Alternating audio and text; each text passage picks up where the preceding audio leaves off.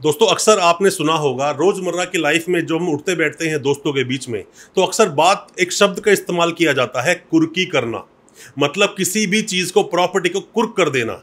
आपने बहुत कम देखा होगा रियली में ऐसा होता हुआ, पर हाँ हमारे देश के कानून में कुर्की करने का प्रावधान ज़रूर है। साथ में ही कब प्रोक्लेमेशन बन जाता है, कब प्रोक्लेम्ड ऑफेंडर घोषित हो जाता है मतलब भगोड़ा घोषित हो जाता है कोई भी व्यक्ति जो एक्यूज है, किसी भी क्राइम में, किसी भी एफआईआर में उसका नाम है, पर वो कोर्ट की प्रोसीडिंग का हिस्सा बनना नहीं चाहता, बच रहा है, भाग रहा है या फिर अपने आप को बचा रहा है। अब इसकी प्रोसीडिंग चलती है। कैसे प्रोसीडिंग चलती है? वारंट कब होता है? सम्मन कब आता है? वारंट ट्रायल हम किसे बोलते हैं? या फिर अगर किसी को प्रोक्लेम्ड अगर घोषित कर दिया गया तो क्या उसके बाद बेल होती है? और अगर किसी को भगोड़ा घोषित कर दिया, उसके बाद पुलिस ने अरेस्ट कर लिया अरेस्ट करने के बाद जेल भेज दिया, अब जेल जाने के बाद उसकी बेल कब तक होगी? ये सारी कई सारे सवाल हैं हमारे दिलों में, खास करके लोग ये बोलते हैं, सर 82 की प्रोसीडिंग क्या होती है? भगोड़ा कब घोषित कर दिया जाता है? या फिर एक होता है कॉर्नर नोटिस मतलब किसी भी, आप अगर गए किसी भी एयरपोर्ट पे, वहाँ आपको अरेस्ट कर लिया जाएगा। वो हम किसी और टॉपिक में लेंगे, पर आज अपनी इस वीडियो में हम बात करने वाले हैं 82 और 83 की प्रोसीडिंग के बारे में, जो सीआरपीसी 1973 के सेक्शंस हैं, किस तरह भगोड़ा घोषित किया जाता है कोर्ट द्वारा। उसके बारे में आज बात करूँगा अपने इस वीडियो में। ज़्यादा कुछ जानने के लिए दोस्तों, बने रहिए हमारे इस वीडियो के साथ।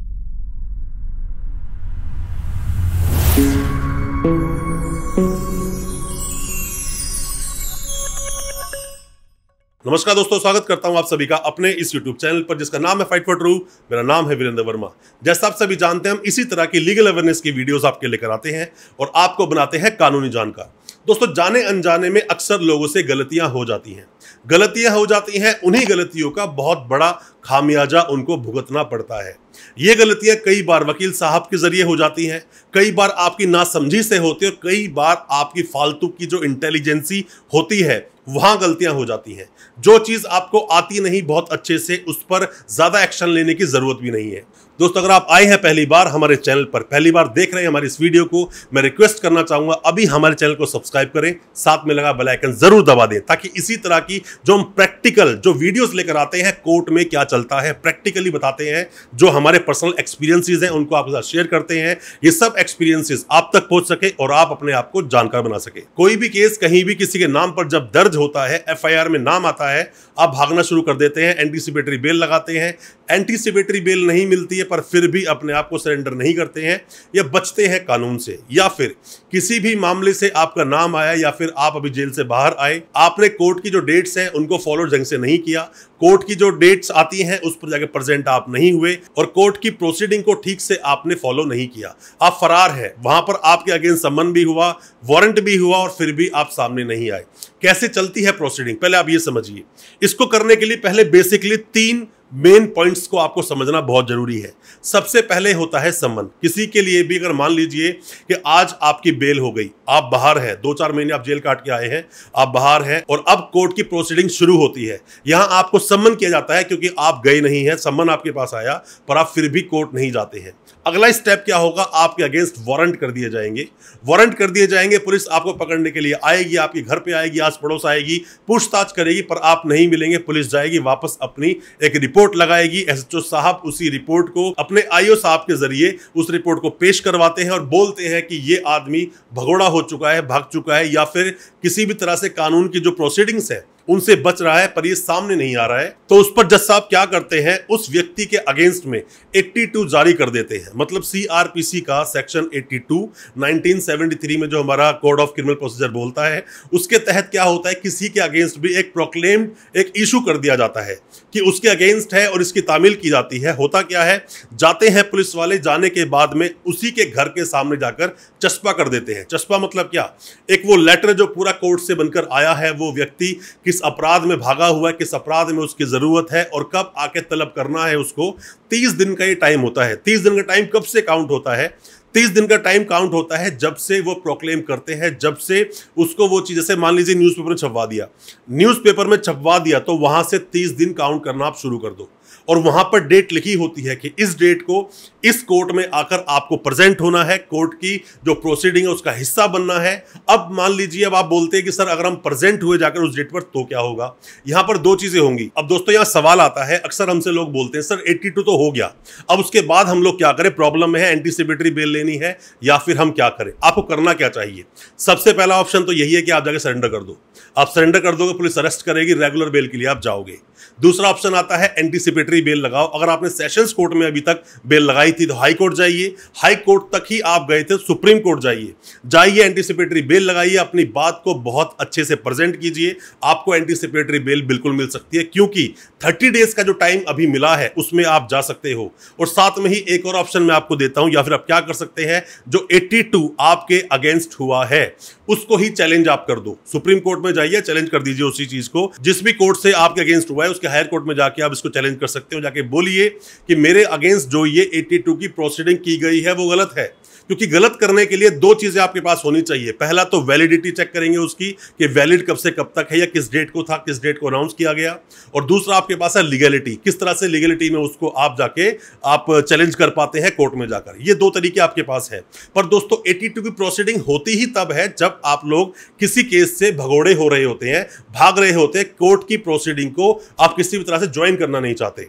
और आप जानते हैं कि अगर मैं ज्वाइन करने की कोशिश करूँगा कोर्ट जाऊँगा तो पुलिस मुझे अरेस्ट कर लेगी। और हर व्यक्ति अपने उस अरेस्ट से बचता है। और वैसे भी आपको आज़ादी का अधिकार है, जो हमारा राइट टू लिबर्टी जो हमारा आर्टिकल 21 बोलता है। पर दोस्तों, किसी भी तरह से आपका नाम किसी भी आता है अपराध में तो वहाँ पर एंटीसिपेटरी आप बेल ले सकते हैं, आपका अधिकार बनता है। एंटीसिपेटरी बेल अगर आप अप्लाई कर रहे हैं सेशन कोर्ट तक कई लोग रुक जाते हैं हाई कोर्ट तक जाइए। हाई कोर्ट तक आप गए हैं बेल नहीं हुई, सुप्रीम कोर्ट आप ज़रूर जाइए। अगर फिर भी बेल ना मिले, और लगता है सुप्रीम कोर्ट को भी कि आपको बेल नहीं मिलेगी तो ही आप जाके सरेंडर कीजिए।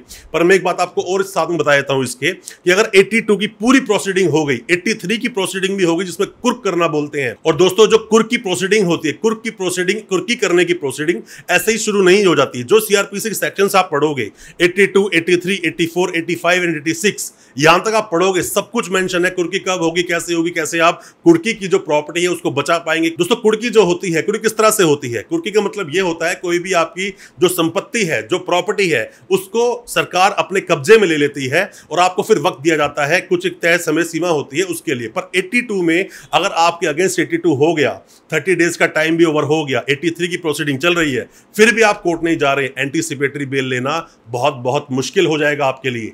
तो 82 अगर हो रहा है तो 30 डेज़ का आप टाइम काउंट करें, उससे पहले पहले एंटीसिपेटरी बेल लेने की कोशिश करें और फिर भी ना हो तो दूसरी रेमेडीज जो मैं आपको बता रहा हूँ, उन रेमेडीज के साथ भी आप जा सकते हैं। दोस्तों, पहले तो आप कोशिश यही करें कि 82 की प्रोसीडिंग जब शुरू हुई है, तभी आप कोई ना कोई रेमेडी का इस्तेमाल कर लें, अपने एंटीसिपेटरी बेल ले लें सरेंडर हो जाएँ, या फिर जो 82 की प्रोसीडिंग हुई है, उसको आप चैलेंज कर दें।